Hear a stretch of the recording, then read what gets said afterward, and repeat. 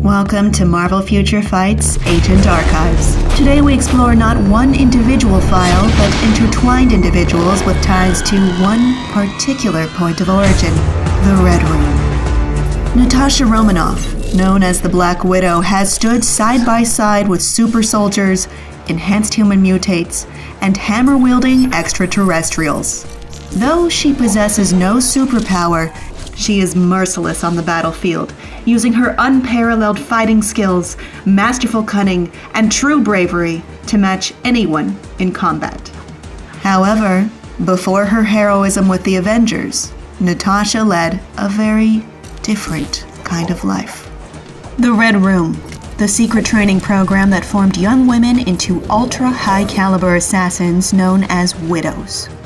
Natasha wasn't alone in her graduation from their program, as many children were molded like clay into the world's most deadly assassins.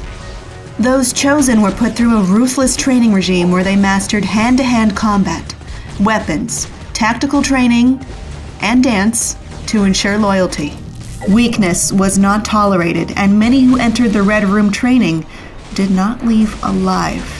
The ones who do make it never lead happy normal lives, finding purpose only in the arts of death they had earned. Graduates are truly unbreakable.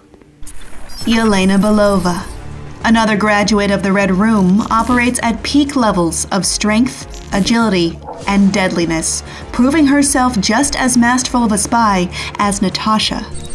While proficient with all weapons, Yelena prefers to utilize her batons for hand to hand combat and fight multiple enemies from a distance with her selection of firearms. She also uses her agility and many spy devices she keeps hidden in her tactical vest to dispatch her enemies. Most of Yelena's background is shrouded in secrecy, but this elite assassin has unfinished business with Natasha that she is determined to address. Can the pair form an alliance, or will one inevitably betray the other? Play as Natasha and Yelena in Marvel Future Fight and watch their story unfold in Marvel's Black Widow, only in theaters November 6th. And don't forget to subscribe for more transmissions from the Agent Archives.